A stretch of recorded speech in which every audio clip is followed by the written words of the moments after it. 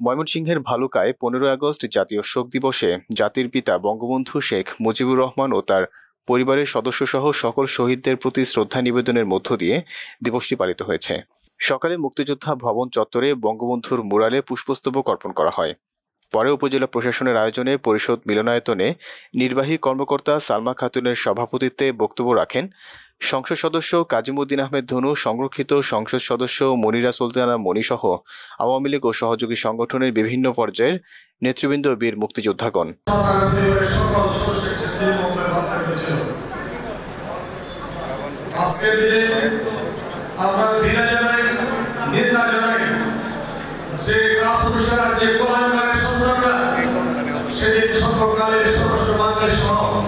শিশু